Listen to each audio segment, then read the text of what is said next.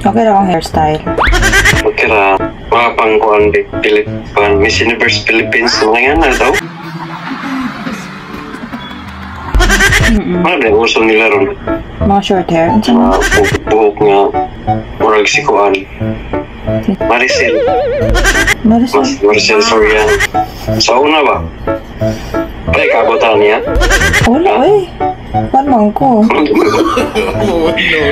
Ban ka ka ng Ay, tigo na sa ka. tao yan eh. Gen Z man ko. Na millennial eh, millennial. Hindi, Gen Z ko. Wow! Wala ko kakakuha na mga movies sa Maricel. Wala ko kakakuha na nakatanaw mga BBO. BPO.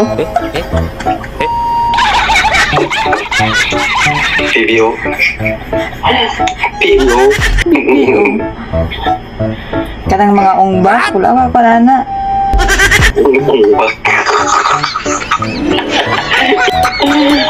Wala ko nakaabutan na ungba pala.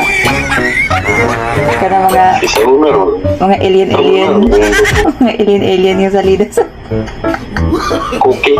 Mga cookie. Kaya karod Ka good. cookie. Ang mga salida ron, mga kabit-kabit mang good ron. Di pero sa una alien, mga ungbak, mga karate-karate. Kabit-kabit na ni. Kabit. Karoon eh, kabit-kabit. Mga ba? Akin lang ang asawa ko. Wala sa'yo, Nico! Akin lang ang asawa ko!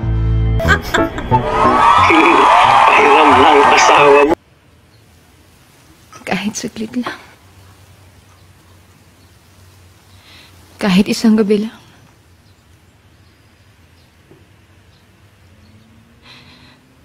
Pahiram ng asawa. Umot kayo. Ganan dahil kang talaan. Nakatanaw ka na, ano? Mo din na yung mga ganahan ni mo. Mo ba na yung mga ganahan ni mga salida? Wala eh. Kuha mo na kuha mga sa una ba? James Bond. Hmm, James Bond. Di ko magiday ka na nakabot siya kang James Bond. O kuha katong The God must, must be Crazy. Kaya natanaw naman ako ron kay mga ang probinsyano, mga batang kiyapo. The Black Rider. Na, Black Rider ka ba? Black Rider, asawa ng asawa ko.